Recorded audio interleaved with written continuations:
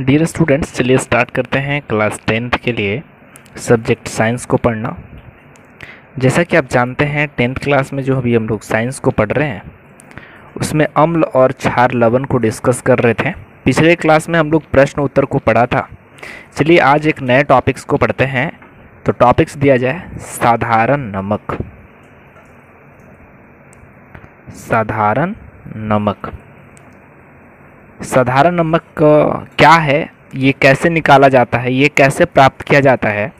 इसको समझने के लिए सबसे पहले कुछ एरो देकर लिख लिया जाए पॉइंट्स फ़र्स्ट एरो देकर लिखा जाए, साधारण नमक का उत्पादन। साधारण नमक का उत्पादन समुद्री जल से होता है। समुद्री जल से होता है। जी हाँ। फ़र्स्ट एरो में देखें कि साधारण नमक जो हम लोग खाते हैं, घरों में इस्तेमाल करते हैं, वो कहाँ से निकाला जाता है?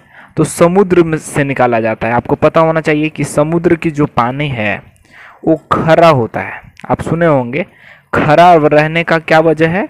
क्योंकि समुद्र के पानी में एन पाया जाता है। इसलिए समुद्र का पानी जो है, खरा होता है। और ये निकाला कैसे जाता है? ये प्राप्त कैसे किया जाता है? एक्चुअली क्या होता है कि समुद्र का पानी जो होता है हम लोगों का, वो एन तो उसमें होता ही होता है। अब निकाला कैसे जाता है? तो समुद्र के किनारे और जो लहर जाता है समुद्र का, उसके चारों ओर बाँध बना दिए जाते हैं, ऐसे करके। ठीक है? चारों ओर बना दिए जाते हैं। और जैसे ही समुद्र में लहर उठता है तो समुद्र का पानी दूर तक ऊपर से उठकर चला जाता है। और जैसे ही उधर से आते टाइम, क्योंकि ढलान होता है ना, समुद्र तो गड्ढा में है, और उसके ऊपर में ऐसा बाँध बनाया गया है छोटा छोटा अब जैसे ही इधर से लहर आया तो लहर से पानी जो है, उछल कर ऊपर ऊपर और बहुत दूर तक चला गया। लेकिन जैसे ही उधर से आया तो बाँध तक कुछ ना कुछ वाटर जो है, उधर ही रुक गया, पानी उधर ही रुक गया। और इतना हार्ड सनलाइट आता है, सूर्य का प्रकाश आता है कि पानी जो है सूख लिया जाता है, वाष्पीकृत हो जाता है और एनएससीएल की मात्रा बच जाती है। और वो जो एनएससीएल है, फिर मशीनरी में जाता है रिफाइनिंग होने के लिए, शुद्ध होने के लिए, फिर पैकिंग होता है और हम लोगों के यहाँ आता है। तो याद रखिएगा, साधारण नमक कहाँ से प्राप्त होता है? समुद्री जल से, समुद्र से प्राप्त होता है। नेक्स्ट एरो देंगे लिखे लिखा जाए। समुद्री जल से ही एन प्राप्त किया जाता है, क्योंकि सोडियम क्लोराइड एक तरह का लवण है, जिसको हम लोग नमक भी कहते हैं। तो लिखा जाए, समुद्री जल से ही एन प्राप्त किया जाता है। ठीक है? अब ये तो रहा हम लोगों का साधारण नमक। अच्छा अब इसका जो कच्चा पदार्थ है, साधारण नमक का जो फॉर्म है वो इसका इस्तेमाल हम लोग कहाँ कहाँ करते हैं? ठीक है? तो लिखा जाए उसके नीचे एरो देकर। एरो देकर लिखेंगे। साधारण नमक हमारे दैनिक उपयोग में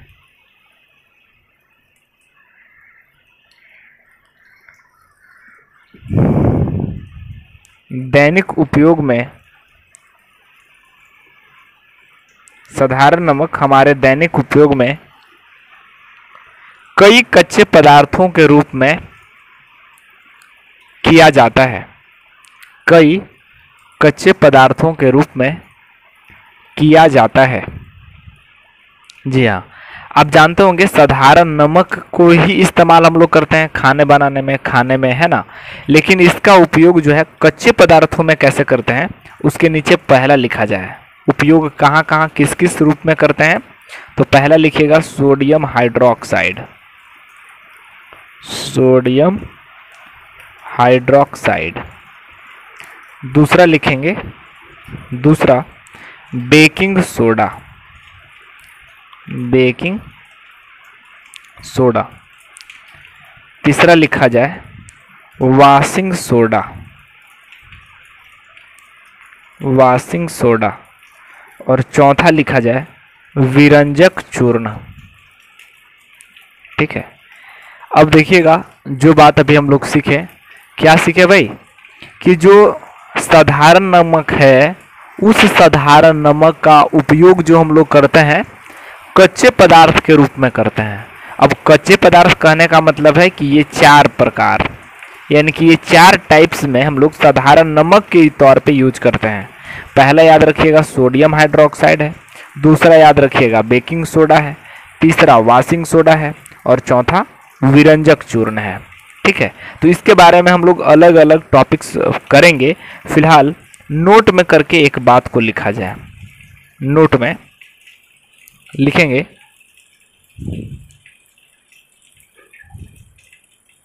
लवण के रूप में लवण के रूप में निम्नलिखित यौगिक प्रयुक्त किए जाते हैं। लवण के रूप में निम्नलिखित यौगिक प्रयुक्त किए जाते हैं। देखिए, हम आपको बताए थे कि जब अम्ल और क्षार अभिक्रिया करते हैं तो लवण और जल बनाते हैं। और उस लवण और जल को कई लवण हम किसी को भी बोल रहे थे, जैसे पोटेशियम नाइट्रेट भी बनेगा ना, चाहे सोडियम क्लोराइड, ये सब सब लवण की कैटेगरीज में आते हैं। तो चलिए अब कौन कौन सा लवण की कैटेगरीज में आता है, चलिए उसको हम लोग देखते हैं। तो लिखा जाए उसके नीचे पहला एन ये सब लवण की कैटेगरी में आता है। दूसरा दूसरा, जिंक सल्फेट। जिंक सल्फेट का जेड एन एस फोर। तीसरा, copper sulphate C U S O four. फिर लिखेंगे चौथा, potassium sulphate K S O four. तीसरा, aluminium chloride A L C L three. Next, छठा, फिर लिखा जाए copper sulphate zinc sulphate calcium sulphate C S O four E T C याद रखिएगा, ये सब सारे किस कैटेगरीज में आते हैं? तो लवन के कैटेगरीज में आते हैं, और भी बहुत सारे हैं। तो अब से हमको ये पता चल गया कि लवन का फार्मूला सिर्फ़ एन नहीं याद रखना है। इसके अलावे Z N S O four C U S O four K S O four ये सब भी किस रूप में आते हैं? लवन के रूप में आते हैं। ठीक है? अब आपको याद होना चाहिए कि साधारण लवण का जो पीएच मान होता है, वो सात होता है। याद रखिएगा, जबकि अम्ल का पीएच मान सात से कम होता है और क्षार का पीएच मान सात से अधिक होता है। तो ये पीएच स्केल में हम लोग पढ़े हैं कि जो लवण होगा, उसका पीएच मान सात होगा। चलिए, इसके बारे में, लवण के बारे में एक और कुछ कहानी है कि महात्मा गांधी ने दांडी यात्रा किया था, दांडी मार्च भी जिसको कहते हैं। तो महात्मा गांधी ने दांडी मार्च क्यों किया था? तो दांडी मार्च का उद्देश्य था कि जो समुद्र से नमक प्राप्त किया जा रहा था, उसका अंग्रेज़ लोग जो है, अति यूज़ कर रहे थे, ज़्यादा से ज़्यादा इस्तेमाल कर रहे थे, यहाँ तक कि उसको बर्बाद भी कर रहे थे। तो इसके विरोध में महात्मा गांधी ने एक यात्रा शुरू किया, जिसको बोलते हैं दांडी मार्च, दांडी यात्रा किया, जिसको हम लोग कहते हैं कि जो महात्मा गांधी ने दांडी यात्रा किया, वो किसके बचाव में किया? तो नमक को ज़्यादा अति बर्बादी के विरोध में किया, ठीक है? अंग्रेज़ों ने इसका बहुत ही ये ज़्यादा बर्बादी कर रहे थे, और बहुत ज़्यादा हमारे यहाँ से नमक जो है अपने देशों में वो लोग ले जाया करते थे। तो इसके विरोध में महात्मा गांधी ने दांडी यात्रा किया था नमक को बचाने के लिए, ठीक है? चलिए तो ये जो सारे टॉपिक्स है, इसको हम लोग अब क्लियर करते हैं। हालाँकि ये नोट में जो लिखे हैं ना, ये हम समझाने का प्रयास किए हैं कि लवन के रूप में ये सब सारे भी इस्तेमाल होते हैं। कभी कभी क्या होगा कि Z N S O four भी बन जाएगा ना, तब पर भी आपको कहना है कि लवन बना। हालाँकि लवन का मेन फार्मूला क्या होता है?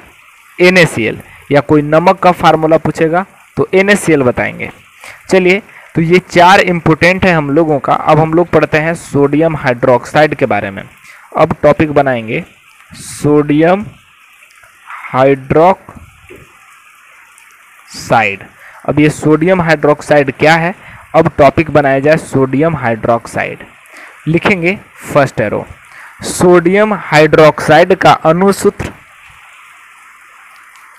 सोडियम हाइड्रोक्साइड का अनुसूत्र अणुसूत्र ओ एच है। एच है। याद रखिएगा, सोडियम हाइड्रोक्साइड का अणुसूत्र अणुसूत्र का माने फार्मूला। क्या है भाई? तो एच जी बिल्कुल याद रखिएगा एच ठीक है। अब NaOH बनता कैसे है? अब सवाल उठेगा कि आप सोडियम हाइड्रोक्साइड प्राप्त कैसे करेंगे? ठीक है? तो इसके लिए सेकेंड एरो लिया जाए। लिखेंगे सेकेंड एरो देकर, जब सोडियम क्लोराइड के जलीय विलयन से, जब सोडियम क्लोराइड के जलीय विलयन से विद्युत प्रवाहित किया जाता है तो विद्युत प्रवाहित किया जाता है तो NaOH प्राप्त होता है। NaOH यानी कि सोडियम हाइड्रोक्साइड प्राप्त होता है, जिसे जिसे क्लोर क्षार अभिक्रिया कहा जाता है, जिसे क्लोर क्षार प्रक्रिया, अभिक्रिया नहीं सॉरी क्लोर क्षार प्रक्रिया कहा जाता है। अब देखिए, क्लोर क्षार प्रक्रिया क्या है? तो सोडियम हाइड्रोक्साइड का निर्माण। याद रखिएगा कि सोडियम हाइड्रोक्साइड का निर्माण कैसे होता है, अगर कोई पूछेगा तो याद रखिएगा कि जब सोडियम क्लोराइड, यानी कि NaCl के जलीय विलयन जलीय विलयन का मतलब कौन चीज़? जल रहेगा। को में अगर विद्युत धारा प्रवाहित करेंगे, यानी कि यहाँ है विद्युत तब जाकर हमको सोडियम हाइड्रोक्साइड मिलेगा, यानी कि एन ए ओ एच और हाइड्रोजन और क्लोरीन मिलेगा एच टू और सी एल टू याद रखिएगा अब इसको। ये हम लोग, कोई पूछेगा कि सोडियम हाइड्रोक्साइड, यानी कि NaOH कैसे प्राप्त किया जाता है तो आप लिखेंगे कि जब सोडियम क्लोराइड के जलीय विलयन, ये जल है में विद्युत प्रवाहित किया जाता है तो सोडियम हाइड्रोक्साइड बनता है। इसके साथ साथ हाइड्रोजन और क्लोरीन भी बनते हैं। याद रखिएगा, जो क्लोरीन बन गया ना, इसी से नाम आया क्लोर। और NaOH क्या है? तो एक प्रबल क्षार है, याद रखिएगा। NaOH क्या है? एक क्षार है, इसीलिए इसको नाम दिया गया क्लोर क्षार प्रक्रिया। जो अभी लिखे हैं। तो जो लिखे क्लोर क्षार प्रक्रिया, उसके नीचे ये समीकरण को दिखा दीजिए। और जहाँ तक बात है कि हम लोग संतुलित करके इस समीकरण को लिखते हैं।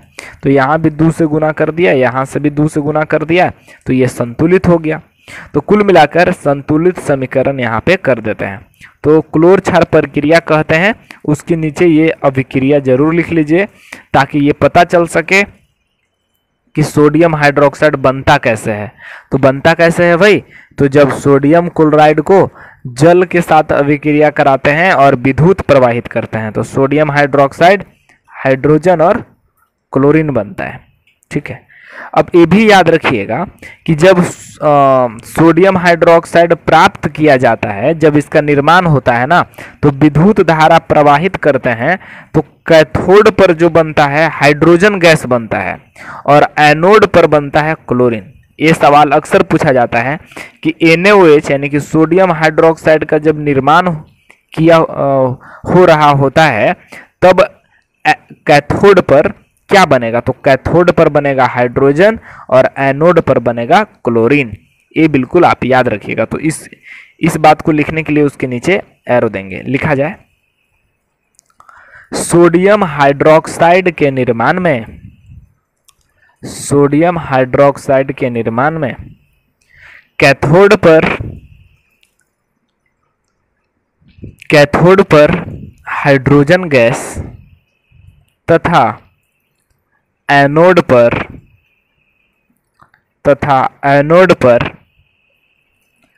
क्लोरीन गैस एनोड पर क्लोरीन गैस मुक्त होती है। जी बिल्कुल याद रखिएगा, जब NaOH का निर्माण हो रहा होता है तो हाइड्रोजन जो निकल रहा है, ये कहाँ निकलता है? कैथोड पर। कैथोड बोले तो प्लस, कैथोड का मतलब होता है पॉजिटिव, और क्लोरीन कहाँ निकलता है? तो निगेटिव पर, यानी कि ये इसको एनोड कहते हैं। तो कैथोड बने प्लस एनोड बने माइनस ठीक है? तो ये बात अभी हम लोग सोडियम हाइड्रोक्साइड में पढ़ रहे थे। इसके बाद इसके बाद इसके नीचे एरो देकर लिखेंगे। सोडियम हाइड्रोक्साइड एक प्रबल क्षार है। सोडियम हाइड्रोक्साइड एक प्रबल क्षार है। याद रखिएगा सोडियम हाइड्रोक्साइड जो है, एक प्रबल क्षार है। क्यों क्षार है? कोई पूछेगा कि क्षार आखिर प्रबल का मतलब है बहुत शक्तिशाली क्षार है। क्यों शक्तिशाली है भाई? तो इसका पीएच मान बिल्कुल चौदह होता है। और सात से चौदह वाला को हम लोग कहते हैं क्षार। और चौदह है, यानी कि इसका सबसे हाईएस्ट है। तब इसलिए इसको हम लोग कहेंगे कि ये प्रबल क्षार है। तो याद रखिएगा सोडियम हाइड्रोक्साइड क्या है? तो एक प्रबल क्षार है। क्योंकि इसका पीएच मान चौदह होता है, सबसे ज़्यादा होता है। ठीक है? अब इससे रिलेटेड ये सवाल आता है कि सोडियम हाइड्रोक्साइड का इस्तेमाल कहाँ कहाँ करते हैं? तो लिखिएगा उसके नीचे एरो देकर मतलब यही टॉपिक है सोडियम हाइड्रोक्साइड ही। इसके नीचे एरो देकर लिखेंगे सोडियम हाइड्रोक्साइड का उपयोग कागज़ तथा वस्त्र उद्योग, कागज़ तथा वस्त्र उद्योग और और साबुन के निर्माण के लिए किया जाता है। साबुन के निर्माण के लिए किया जाता है। जी हाँ बिल्कुल याद रखिएगा कि सोडियम हाइड्रोक्साइड का इस्तेमाल कहाँ कहाँ करते हैं। तो साबुन, डिटर्जेंट, नली के साफ़ करने वाला, यानी कि नली जो सफ़ाई, ब्लीचिंग पाउडर वगैरह इस्तेमाल करते हैं ना तो उसमें या वस्त्र उद्योग पीने वाला पानी को शुद्ध करने में भी इस, इसका इस्तेमाल करते हैं। तो कई तरह से इसका इस्तेमाल करते हैं। तो कुल मिलाकर ये था हम लोगों को सोडियम हाइड्रोक्साइड का उपयोग। तो कुल मिलाकर देखा जाए दोस्तों तो ये जो हम लोग लिखे हैं कि इसके कच्चे पदार्थों के रूप में इस्तेमाल करते हैं बेकिंग सोडा, वाशिंग सोडा, विरंजक चूर्ण तो ये सब सारे के हम लोग बारे में हम लोग टॉपिक्स वाइज डिस्कस करेंगे और इससे सवाल भी आते हैं कि बेकिंग सोडा क्या है बेकिंग सोडा कैसे बनता है, इसका फार्मूला क्या है वाशिंग सोडा क्या है, विरंजक चूर्ण क्या है। एक और हम लोग पढ़ेंगे P O P P O P मैंने प्लास्टर ऑफ़ पेरिस तो इसके बारे में भी हम लोग डिस्कस करेंगे, ठीक है? तो दोस्त आज के लिए इतना ही। तब तक के लिए धन्यवाद।